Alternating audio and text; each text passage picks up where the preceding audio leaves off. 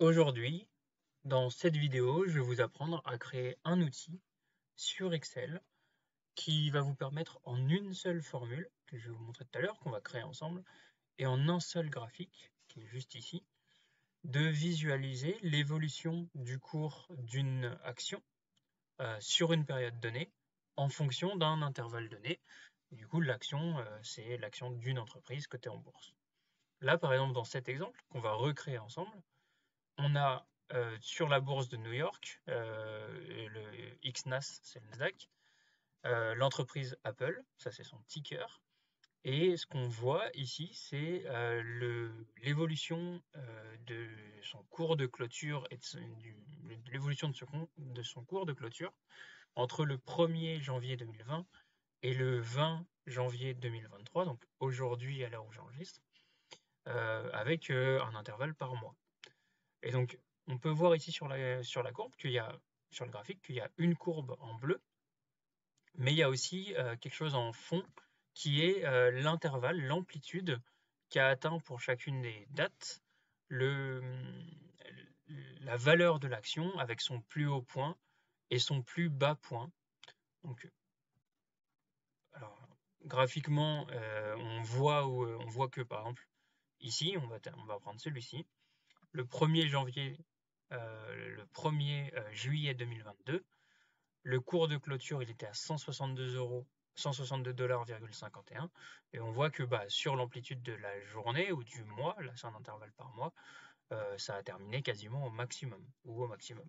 Alors que justement à l'inverse ici, pour le 1er octobre 2020, bah, on voit que le cours de clôture c'était le plus bas du mois, du coup mauvais mois peut-être. Donc voilà, on va apprendre à faire tout ça ensemble. Je vais commencer par simplement euh, supprimer mon graphique qui est ici, supprimer ma formule qui est ici, et puis ici j'ai fait une petite validation de données et je vais la supprimer aussi. je vais dans données, et je vais supprimer la validation de données et puis on va tout refaire ensemble. Donc, moi ce que je veux, c'est déjà créer euh, les paramètres qui vont me permettre de créer ma formule, et puis ensuite créer les paramètres qui vont me permettre de créer mon graphique à partir de ma formule. Premier, truc à faire, ici, je vais vouloir pouvoir sélectionner un intervalle. Par défaut, je vais laisser par mois, mais je vais créer euh, les deux autres euh, intervalles possibles. Et du coup, je vais me mettre dans cette cellule, validation de données, donc dans données, validation de données et je vais aller créer une liste, je vais la créer à la main en mettant simplement trois intervalles euh, qui sont cohérents et qui sont liés à la fonction qu'on va utiliser après. Donc je vais avoir un intervalle par jour, point virgule, un intervalle par semaine, point virgule, un intervalle par mois. Et du coup, quand je vais cliquer sur OK, ça va me créer une liste déroulante dans cette cellule-là, dans laquelle je peux sélectionner l'un des trois intervalles comme je veux évidemment, je ne peux rien sélectionner d'autre. Il me met une erreur dans ce cas-là. Donc maintenant que ça c'est fait, j'ai sélectionné, ici je sais que j'aurai une date, ici je sais que j'aurai une date, je pourrais mettre des contrôles, etc. Je ne vais pas les mettre parce que ça ferait une vidéo trop longue. Et du coup, je vais commencer à créer une fonction qui s'appelle historique, enfin une formule avec une fonction euh, qui va être la, pierre angulaire de ma formule. Et la, fonction s'appelle historique action historique action, du coup, il faut lui donner d'abord le nom, euh, le code de l'action qu'on veut récupérer. Pour lui donner le code complet, même si on pourrait donner juste ça, ce qui s'appelle le ticker en, finance, euh, dans la bourse, c'est le, code de l'action. Donc Apple, par exemple, c'est AAPL. Mais je vais lui donner son nom complet, donc je vais écrire, je vais sélectionner ici le code qui correspond à la bourse euh, dans laquelle il y a cette action. Donc ça pourrait être la bourse de Paris, à ce moment-là ce ne serait pas XNAS mais XPAR, ça pourrait être d'autres bourses euh, dans d'autres pays. Et du coup moi je vais prendre la bourse de Paris, je mets euh, une esperluette et deux points, j'écris encore une esperluette pour pouvoir sélectionner dans la bourse de Paris l'action Apple, l'action de l'entreprise Apple. Ensuite il me demande une date de début, bah, ici j'ai une date de début, je vais simplement la sélectionner, en tout cas pour l'instant et puis une date de fin, et je vais simplement la sélectionner pour l'instant. Il me demande un intervalle, mais euh, il me demande de mettre un nombre entre 0, 1 et 2. pour l'instant, je vais mettre 0. Et je vais m'arrêter là, je pourrais faire d'autres choses. On voit qu'il est en train de calculer. Alors il est en train de calculer parce qu'il y a pas mal de valeurs. Là, si on regarde jusqu'en bas, il y a déjà 774, euh, enfin ça va jusqu'à 774, donc il y a pas mal de valeurs. Et du coup, il est en train de calculer, mais il va pas, ce sera jamais long, normalement, si vous avez une bonne connexion Internet. Du coup, là, j'ai quelque chose qui est pas mal, mais je vais refaire quelque chose que j'ai fait dans la dernière vidéo. C'est que je vais lui dire euh, que si jamais il n'y a rien marqué ici ou ici, dans la date de début ou dans la date de fin, ils prennent euh, quand même une date pour qu'on puisse ne rien mettre comme date de fin et que par défaut, il aille le plus loin possible, donc jusqu'à aujourd'hui. Donc déjà pour la date de début, au lieu de sélectionner directement C3, ce que je vais faire, c'est que je vais mettre une fonction si. Si, hop, je vais ouvrir ma parenthèse, mettre mon C3 dedans, et puis comme ça j'ai bien mes parenthèses, je ferme ma parenthèse à la fin et je vais écrire ici mon test logique, ma condition, puis ma valeur si vrai et ma valeur si faux. Si C3 est égal à rien, alors, comme j'ai pas de date de début, je vais écrire moi-même une date de début. Donc, je vais le faire d'une autre manière que ce que j'ai fait la dernière fois. Je vais mettre l'année 1980, par exemple, 1960, le mois 1 et le jour 1 dans une date. C'est-à-dire que là, je lui dis, si jamais la cellule C3, elle est vide, eh ben, je vais mettre la date qui correspond au 1er janvier 1960. Et sinon, ben, je vais mettre cette date-là. Je valide pour vérifier est-ce qu'il n'y a pas d'erreur? On dirait qu'il n'y a pas d'erreur. Je peux supprimer ici. Je vois qu'il recalcule et qui commence au 12 euh, décembre 1980, ce qui peut-être est le début de euh, d'Apple, ou en tout cas on va laisser comme ça pour l'instant et pas s'embêter euh, plus que ça. Hop, je fais la même chose pour ici la date de fin. Si cette cellule-là, elle est vide, euh, et ben je vais mettre aujourd'hui, la fonction aujourd'hui, et sinon, ben, je vais mettre la valeur qu'il y a dans cette cellule. Donc là, c'est pas mal. Je vais remettre ici une date, le 1er janvier 2022, par exemple. Et ici, je vais ne rien mettre. Et puis, je vais aller voir ma formule en bas. Il va bien jusqu'au 19 janvier, 2023, donc jusqu'à hier. Ça a l'air d'être euh, très efficace. Du coup, là, j'ai quelque chose qui est pas mal. Je vais, euh, en vrai, je vais, continuer sur, euh, pas l'intervalle, je vais le garder pour juste après. je vais continuer sur les propriétés 1, 2, 3. Vous voyez que là, il y a propriétés, et puis ça continue avec des points-virgules. Donc, je vais pas gérer les en-têtes. Les en-têtes, je vais laisser. Donc, euh, euh, par défaut, ce qu'il y a, c'est qu'il y a des en-têtes. On voit bien que ici, il y a marqué date et clôture. Je vais les laisser. Donc, ça veut dire que pour les en-têtes, euh, je ne vais rien faire, je ne vais rien changer. Je vais passer ça. Je vais garder la valeur par défaut. Et puis là, il me demande de choisir sont, ce que je vais mettre parmi ces 5, 6 trucs-là, qu'est-ce que je vais mettre en propriété 1. Bah, je vais dire propriété 1, c'est ma date. Point virgule. Ce que je mets en propriété 2. je vais mettre, bah, là ce que je veux c'est récupérer mon plus bas, mon plus haut et mon euh, cours de clôture. Euh, je vais les récupérer dans cet ordre-là, donc je vais faire mon, euh, plus bas, je vais prendre 4, point virgule, mon plus haut, je vais prendre 3, point virgule, mon cours de clôture. C'est comme ça que j'avais fait normalement dans, ce que je vous ai présenté avant, donc j'ai repris à peu près la même chose, je suis peut-être j'ai peut-être inversé le plus haut et le plus bas, mais j'avais fait, euh, fait à peu près comme ça. Donc là, ça a l'air de bien fonctionner. On va juste faire un test pour vérifier. Si je mets à partir du 1er janvier 2023, je vois que j'ai euh, le 3 janvier, donc sans doute que le 1er et le 2 janvier, c'était des samedis et des dimanches, ou que c'était non ouvré pour la bourse, donc c'est pas pris en compte. Mais je vois que pour chacun, chacune de ces dates qui est affichée là, j'ai euh, le cours le plus bas, le cours le plus haut et le cours de clôture qui forcément se situe euh, entre les deux intervalles.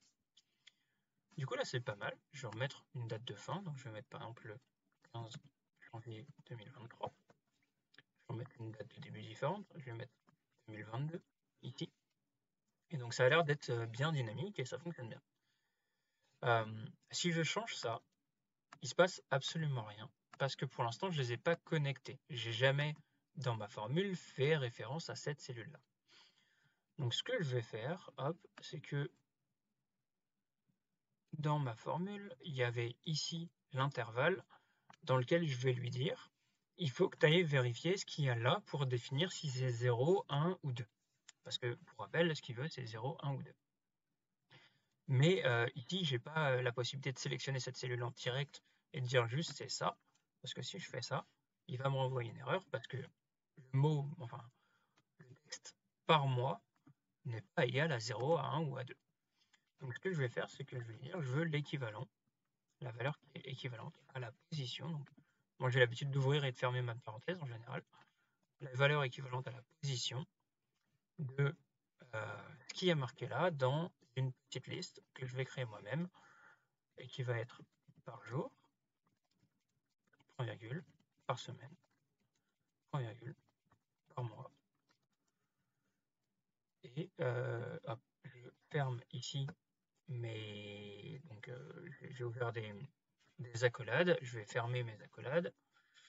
Euh, je termine ma fonction equiv en mettant correspondance exacte. Et ici, comme il va me renvoyer une position qui est soit 1, 2, 3, alors que moi je voudrais 0, 1 ou 2, bah, je vais dire que l'intervalle c'est moins 1.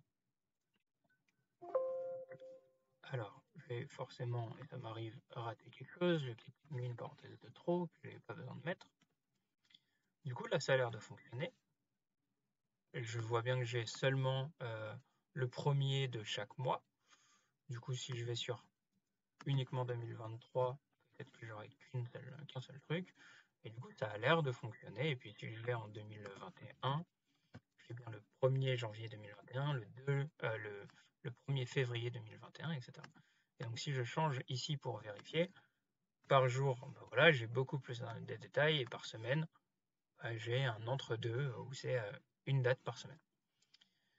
Euh, donc ça a l'air de fonctionner je vais faire quelque chose que j'avais fait la dernière fois, qui est simplement de dire si ça n'est pas rempli, est égal à rien, alors je vais mettre 0 comme valeur, sinon je, euh, je mets mon calcul. Donc mon calcul se termine ici.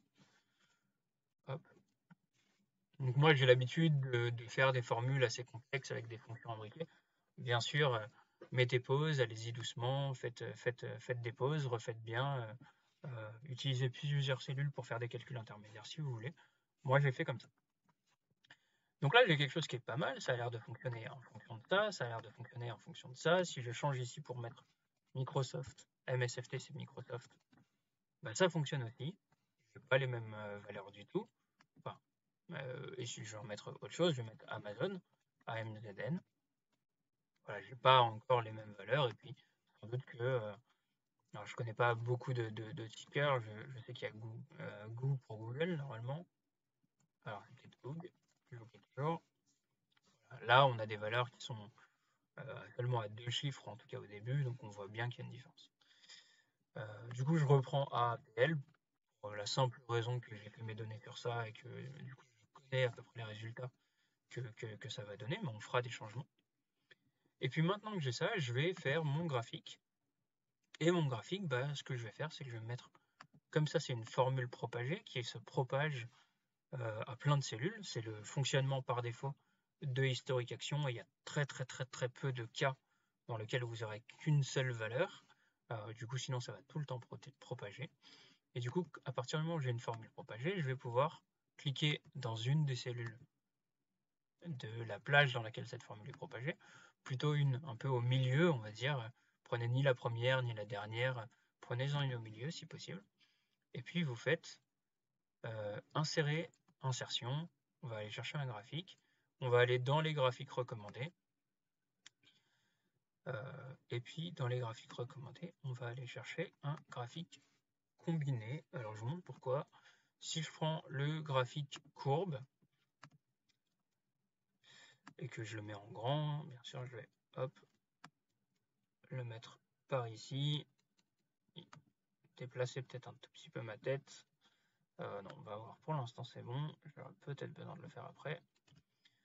Donc si je mets ça,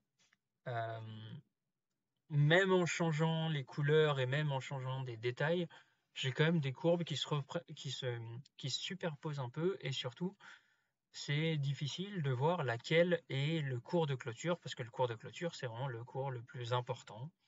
Euh, après, je fais pas du, trading ou quoi que ce soit, mais c'est le cours qu'on récupère par défaut. D'ailleurs, c'est le cours que récupère la, la formule historique action par défaut. Du coup, moi, je vais juste changer ça en disant c'est pas un graphique comme ça que je veux. Ce que je veux, c'est un graphique euh, combiné. C'est ce que je voulais faire au départ, donc je vais le refaire là. Et du coup, graphique combiné ici, dans lequel je vais lui dire le, la clôture, c'est une courbe. Mais ici, je veux pas un histogramme groupé. Ce que je veux, c'est une R. Et ici, ce que je veux, c'est pas un histogramme groupé, c'est une R. Du coup, je vais avoir ça, ce qui bizarrement pour l'instant donne rien, mais vous allez voir que ça va être euh, efficace. Il faut juste que je fasse deux, trois petits changements. Euh, et bah tiens, donc bah, ce qu'on va changer, d'ailleurs là je me rends compte que je l'ai mal fait, ce qu'on va changer c'est qu'on va simplement inverser euh, ici le plus haut et le plus bas, donc ça veut dire que là-dedans, je vais aller prendre d'abord mon plus bas, sans doute, et ensuite mon plus haut, ou en tout cas je vais inverser. comme ça on voit mieux, alors c'est pas parfait encore parce que là les valeurs, euh, il n'y a pas peut-être énormément de changements, on va faire un intervalle plus restreint. Alors peut-être pas autant, on va faire, on va faire sur 3 mois sans doute, 31 euh, mars 22, et puis ici on va mettre 22 aussi. 31 mars 22. Et 1, 1, 22. Voilà, donc là j'ai des dates qui sont dans le bon sens parce que évidemment ma date de fin doit être après ma date de début. Et donc là on voit, ça commence à être mieux, mais bon en vrai visuellement c'est pas fou. Donc ce qu'on va faire c'est que on va euh, lui dire que cette euh, R là, je vais double-cliquer dessus. Cette R là, hop, je vais la mettre en blanc. Cette R qui est derrière, je vais la mettre en gris, juste comme ça, qu'on la voit mais qu'on la voit pas trop, peut-être comme ça, pour bien la voir pour l'instant. Et par contre, cette courbe là, elle, je vais la mettre en bleu foncé. Alors, j'ai peut-être mal fait pour ma courbe, je vais refaire.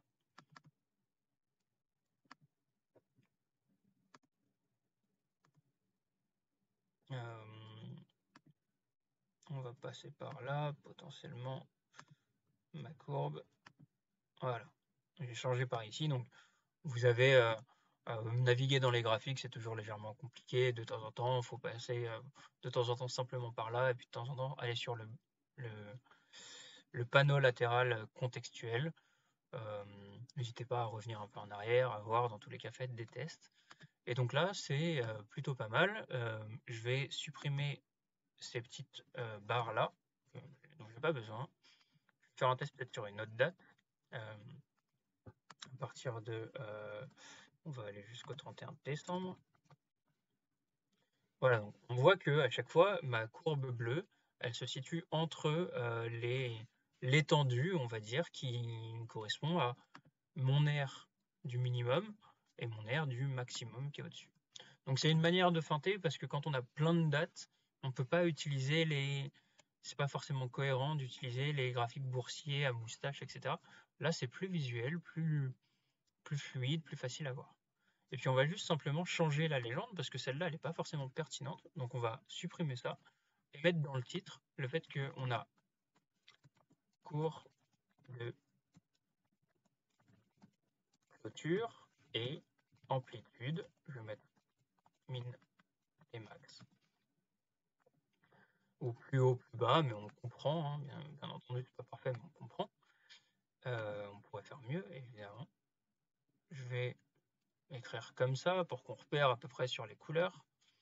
Et du coup, mettre que celui-ci, ça c'est le cours de clôture et qu'on repère bien par rapport à ça.